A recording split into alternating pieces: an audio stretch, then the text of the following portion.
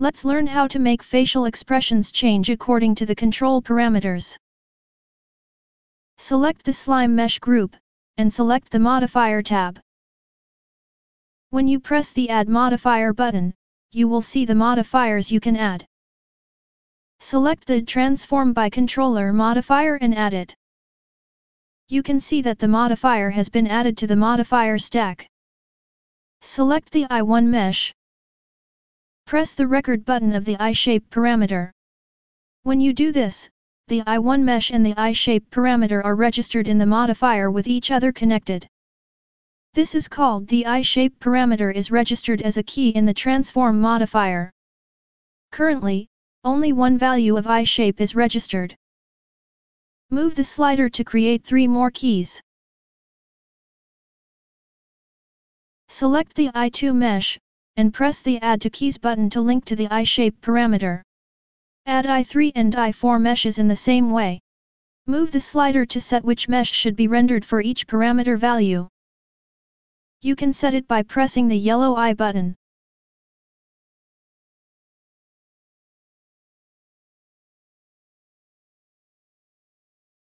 There is a change in modifier in version 1.1.6, and I will give you further explanation.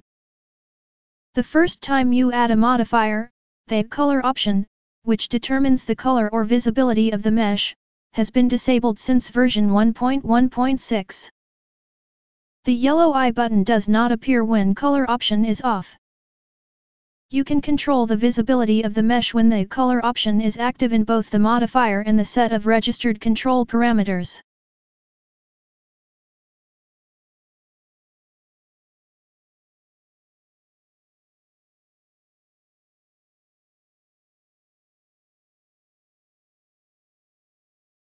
In the same way, make facial expressions for the mouth shape parameter. Select the mouth 1 mesh and press the record button on the mouth shape to register it in the modifier. Create three parameter keys and connect additional mouth 2 and mouth 3 meshes.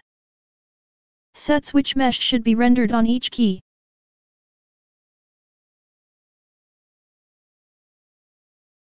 Do the same for the emotion parameter.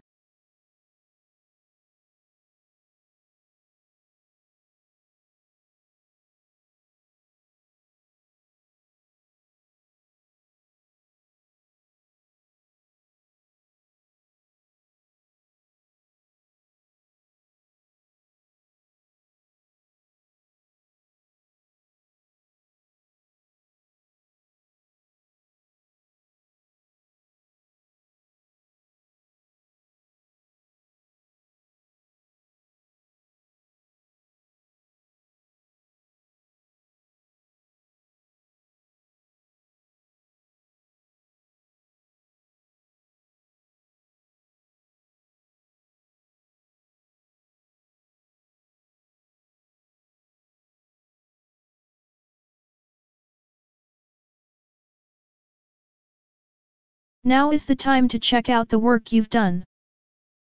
With the root unit selected, you can test while moving the control parameter.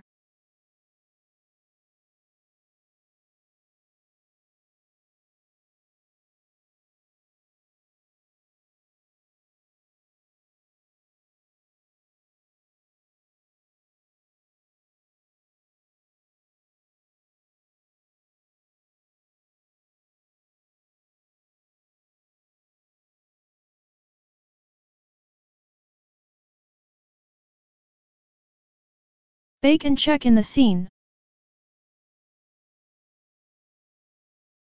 Run the game, and you can control the slime directly from the inspector.